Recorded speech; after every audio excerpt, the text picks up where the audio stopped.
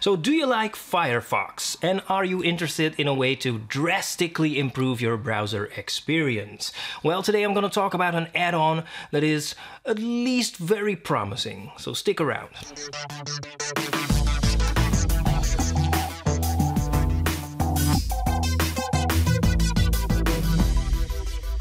Hey everyone, Percy Jules here. So, a little while ago I did a video on my all-time favorite add-on for Firefox, tab groups, which, with the arrival of Firefox Quantum, was discontinued. I was inconsolable. Luckily, recently a viewer pointed out to me that now there is a new add-on, which is very promising as a possible alternative for tab groups. The name of the viewer is Joachim, Hope I pronounce it correctly. Otherwise, I do apologize. Anyway, Joachim, thank you very much. Um, the name of the add-on is Simple Tab Groups. So that is what we're going to take a look at today, real briefly. Uh, by the way, another viewer, as a response to Joachim's response, pointed out that technically there are some differences between tab groups and simple tab groups, something with hiding tabs versus saving tabs, something like that. Well, I'm absolutely not a techie guy, so I'm not going to focus on that at all. I'm only going to focus on usability. All right, so let's go. Okay, so let me show you the basics of this add-on by using some examples. So this is an empty window, let's call it that. By the way, this is the symbol for simple tab groups. If I click it, you'll see that it is empty. But we'll get back to that in a second.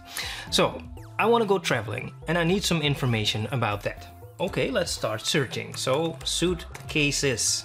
I want some information about that. Also, I want to know some stuff about backpacks.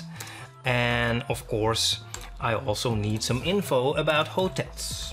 All right, so three tabs. If this were a real search, you can imagine I would have had 10, 15, 20 tabs open possibly. But now let's leave it at that because I now remembered um, that I also need some other um, things. I need a new computer. So I want to search for a computer, but at a later moment I would like to return to this uh, exactly this set of tabs. Alright, this is where simple tabs simple tab groups comes in. So let's click the icon and let's create a new group. Let's call it travel Let's click OK and now these three tabs are part of that group. And now I want to search something else. So let's create a new group. Let's call it computer and click OK. And let's go to that group. Now I'm in a new group. It looks like a new window. It's not, it's a new group. The other tabs, the other groups, are now pushed to the background, so to speak. All right, now I can start searching for other stuff. Let's search for laptop and I also need some information about a desktop. And also, you know, it could be a tablet. You never know. So, this is the second group. Now let's open the icon. Let's click the icon again. And as you can see, now I have two groups with both uh, three tabs. Now let's go to manage groups. Now for anyone who's ever used tab groups, this will look very familiar. It's very similar. Um, this message right here reveals that it is still a work in progress. This is a message about a new feature that will be added in the future. So it's still a work in progress, but it is already very workable, okay? Now, one thing I believe that you couldn't do with tab groups that you can do with simple tab groups is change some settings for any individual group. Well, you could do that with tab groups, but it's a bit more extensive. Let me show you. Let's click the gear icon. And as you can see here, you can change the name. You could do that with tab groups, but you can also change the color of the group uh, manually. Uh, you can change the style of the icon. And you can also change the color at random clicking this and you can even upload your own icon from your computer. Um, yeah and then there are some settings that I don't even know exactly what they do. So I'm gonna leave it at that for now. Looks very nice so let's save it for now. Otherwise again it's very similar.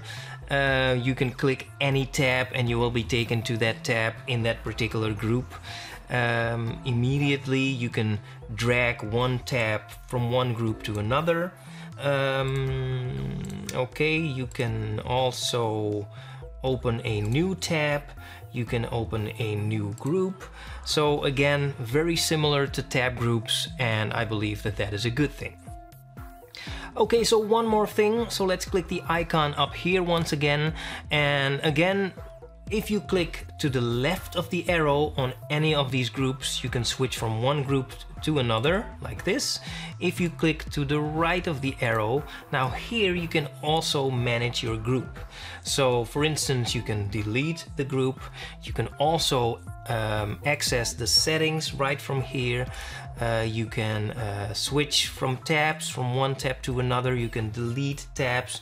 You can rearrange tabs. You can open new tabs. So basically most of the options you have in the manage uh, groups window you also have them here.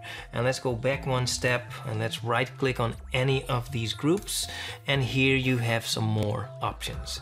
So many options, a lot of options, but basically what it comes down to, of course, is with this add-on, you have the ability to arrange your tabs into groups, and that makes it so much more convenient to browse the web. That's all it comes down to. Now again, this is an incredibly useful add-on and as I also mentioned in my previous video about uh, the discontinuation of tab groups, I just do not understand why none of the browser developers have implemented this into their browsers. I just don't understand.